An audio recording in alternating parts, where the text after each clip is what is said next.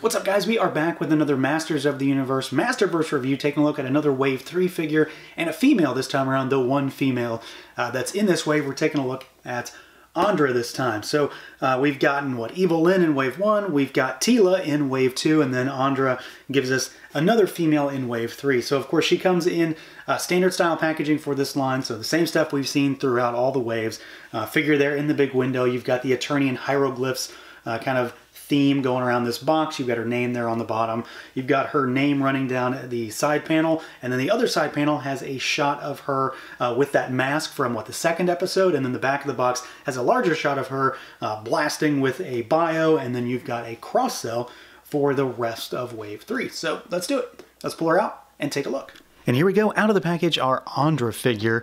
So maybe the one that people are going to be least excited about when it comes to this wave, at least just based on my own expectations of what people are truly after with this particular line. But just like with Evil-Lyn, I think they are really nailing the female figures.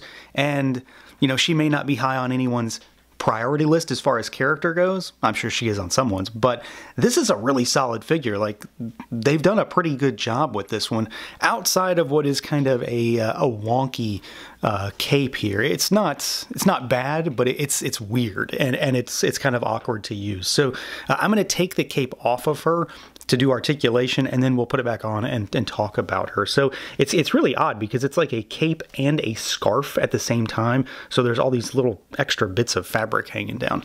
Um, so as far as moving her around, I mean, she is going to be pretty much exactly what you expect. If you have Evil-Lyn, you, you kind of know what you're getting into here. Uh, so the head can look up slightly, not much. She can look down a decent bit though. You've got tilt side to side, full rotation. Arms out at the shoulders. They do rotate all the way around, but she has the shoulder cuffs, so they're going to get in the way. So she goes, you know, fully forward and backward. That's usually enough. We've got our bicep swivel. You've got double jointed elbows, pinless double jointed elbows on a female figure. And then we've got hinges and rotation at that wrist. We've got a diaphragm cut for her uh, twist, right, uh, in conjunction with a waist swivel. Uh, so she can twist all the way around, and she's got a little bit of bobble back and forth, side to side. Not too much, like it's not, not overly articulated there, um, but she does have some good tilt otherwise. Legs go out about that far, not the full splits, but pretty far. She kicks forward, she kicks backward really good. She's got a thigh cut, We've got pinless double jointed knees. They go back all the way. And then you've got a boot cut. It's pretty high. Like that's a, it's, a that's like a lower knee cut almost, but it, it, it's functional. And then we've got really good rocker, nothing in the way, and then hinges uh, down at those ankles. So I mean, she's she is as articulated as Evil-Lyn, really, uh, which is to say she is pretty well articulated, no issues here. She moves pretty fluidly, uh, nothing stuck, nothing in the way. The only real hindrance is probably that diaphragm cut where it's not all that usable, but overall she is uh, really nicely put together. Now aesthetically, she is also really solid. There's there's not a lot that I would really consider worth complaining about on this figure when it comes to the base figure. You know, colors are really nice. Uh, she does have a lot going on. She's a pretty busy figure. But that's that's her look in many ways. You know, she's got her blaster on her wrist here, which does have effect parts, so she's got a port there. Uh, we've got varying levels of black and brown and green and, and yellow. She does have a lot of colors. You know, again, she is kind of busy. She does have a very uh, obvious uh, trademark stamp on her back there, which I've never been a fan of some of the places Mattel puts that stuff, but it's right there. Uh, she does have kind of an obvious, very uh, ugly looking knee joint from the back. But overall, I think she looks pretty good and, and pretty close to the source material. Colors are are really nice because a lot of this is molded plastic in many places. There is some paint, uh, but a lot of it is molded plastic too, like the knee pads are, uh, the gauntlet is, and things like that. The She's got her little uh, bandolier here. We've got a floating piece for the belt. So this actually hides that waist twist really nicely. Doesn't really need to. It would, it would have been hidden pretty well by the you know the hips area in general but it completely removes that cut. And ultimately there's two big things about this figure that are are worth mentioning. The first is is the head sculpt because the body is the body. It looks good. Proportions are all right. Colors are all right. Uh, sculpt is pretty good. But the head sculpt on this figure is pretty solid. Like this, this is a really good female head sculpt. Uh, it's a really good interpretation of her. So just like Evil-Lyn, you know, it's another instance where they've really done a good job, uh, kind of capturing that animation look and kind of drawing it into into plastic. The hair is really nicely sculpted and just the overall expression it's kind of stoic you know there's not a lot of emotion to it but at the same time it's it's not some ridiculous you know yelling pose or anything like that. The eyes are really clean and crisp the, the lips are, are a little bit glossy so you know it looks like they have a little bit of a sheen to them and then the uh, overall sculpt and proportions on it just they just look good. I, have been pretty happy with with most of the heads in this line. And there's a couple uh, notable exceptions namely the titular character of, of of masters of the universe. But uh, but this is another one of those that kind of goes up to the top of the list. I think the head sculpt is really solid on her. And then lastly we have the soft goods. And these are they're interesting. I don't know if I want to say they're bad. Uh, I don't know if I really want to say they're good. They are different. So you've got this is like, you know, her cloaked robe, which honestly, it's not too bad. You know, you can get it to kind of drape over her and it'll sort of cinch and it looks all right. Like it hangs on her really well, and the material is slightly more plush than I was expecting. It it doesn't look all that much good from the inside, but from the back, it's got like a kind of velvety look and feel to it. But it's also supposed to be like a scarf too. And that's why you've got these long fringes and they're it's not good, it's not bad, it's kind of weird, it's kind of awkward. And it, it's just a lot of material that you have to sort of wrap around her face and tuck it under itself so that you can uh, get it to sort of cinch down over top of her. And then it's all kind of like bunched up on the back. I wish these were a little bit uh, thinner because the the arms of the scarf piece are of course a different uh, stitched material on top of the cape.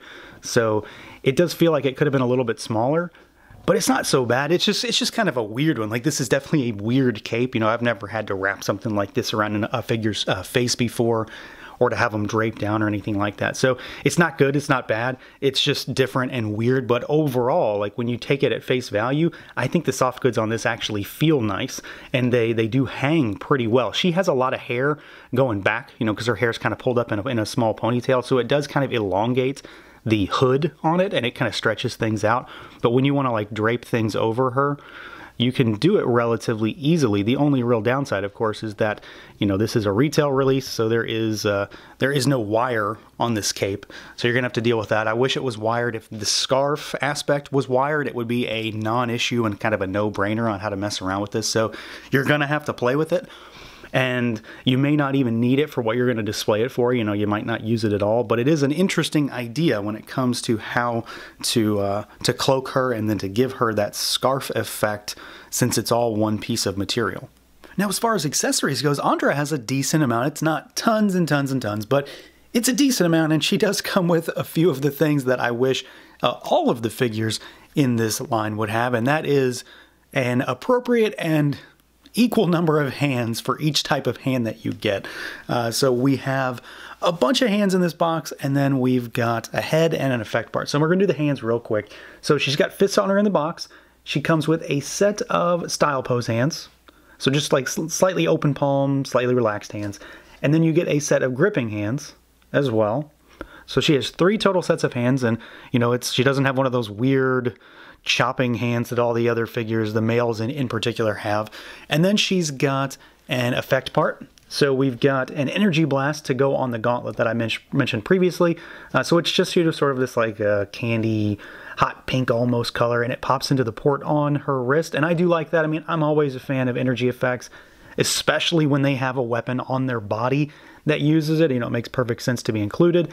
And then we have, at last, her alternate head sculpt. And this is that mask, that helmet that she and Teela wear uh, when they're, what, in episode two in particular, where they're fighting Stinkor. So it's got like, I really like this. Just point blank, I really like this design. I thought it was a really cool design in the show. Uh, it, I get like some serious Snake Man vibes out of this thing. Whether that's intentional or not, I don't know, but it looks slightly reptilian to me. And then you've got uh, you know, this like two tone dark green, light green with the yellow eyes, and then this tubing that goes around for kind of like the respir- respirator system that it has. And of course, this can also be used um, with the soft goods because of course they're wearing they're wearing them when this happens. So you know you can pop this on. And i think this actually works uh, really really well with the soft goods in particular. And i'm just going to haphazardly throw them on here at the moment and just sort of do it. But i think she looks i think she looks pretty cool this way honestly like you know kind of shroud her head a little bit and then you've got some very mysterious type of character. So if you maybe, you know, maybe you're one of those folks out there who doesn't really care about this particular figure. I know that's, I know I've, I've said that a few times, and I know there's definitely a few folks out that are going to feel that way about this one. You could change her up to the point where, you know, she just looks like some cool kind of mercenary or something like that. And I really like the idea behind this. Again, you know, the soft goods are kind of wonky. They are hard to utilize, I think, and you have to kind of get them down correctly. If there was a wire in there, it would be an absolute game changer. But I think for the most part, it does its job pretty well, and it works really nicely in conjunction with this head sculpt in particular because she doesn't have all that hair popping out the back, so it keeps the hood down a little bit better. And then, of course, you know, you've got a bunch of other stuff here for her. So she's got her effect part for her weapon, and then she's got the extra hands. So there is a decent amount of stuff in there in the box, and especially if you count this as an accessory, because, you know, technically speaking, kind of is, uh, she is uh, pretty well rounded out. So yeah, overall, I'm pretty happy with this one. I know I've said it a handful of times that I know that this is probably going to be the figure that is not as readily scooped up when it comes to this uh, particular wave because she's a character that most folks don't necessarily know and have a history with. She's definitely more more so focused on uh, new stuff rather than pulling on the nostalgia strings, but she's a really solid figure. Just like Evil-Lyn in Wave 1, and you know, again, I haven't messed with Teela yet still, uh, she is a really well articulated figure, which is just nice to see. She's got a really cool design. She has an awesome alternate head sculpt if you want to change her up. If you want to throw those soft goods on her, you know, play around with them, but you can get them to work really nicely. She's got an effect part and she has a solid amount of hands. So ultimately, there's a lot of good stuff in this box whether you care about this character or not. So uh, that's going to do it for this look at the Masters of the Universe Masterverse Andra. Let me know what you guys think. Feel free to like, comment, subscribe, and share, and until next time.